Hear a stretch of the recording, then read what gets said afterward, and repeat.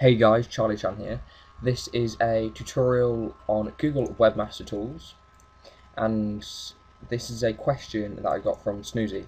So here it says just looking for some feedback on the website and also it says that he has 375 pages on the sitemap but only one is indexed. So um, and it says any ideas to get this increased.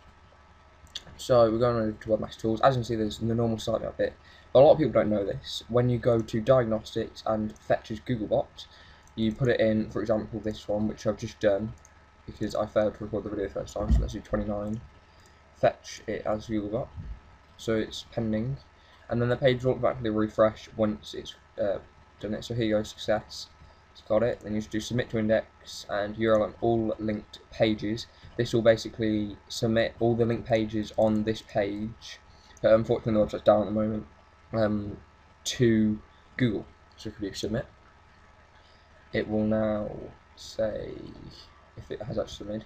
Request has been received and will be processed shortly. Shortly means 5 to 10 minutes, that's normally how short it takes. Um, but as you can see, that's how you do it. Uh, fetches, you get 8 uh, submissions, so make sure to put all the links that you want to kind of submit on that if you want to do it very quickly.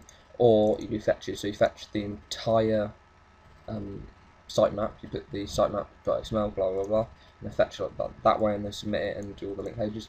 Or you individually put them, and I prefer to do that, and you individually submit all the pages via fetching, and then just index ones that you really want to index straight away. And uh, next time, each month, um, Google comes and collects all the pages Googlebot have fetched and index them, goes through them, um, and puts them in an index. Now, uh, fetching it with Googlebot means that it will already be stored there, and at the end of the month, um, well, at the end of the Google month, it's a different, it's a bit different to calendar. Um, Google fetch it, and they will store it, and until the end of the month, when they will all index it and put it into the website.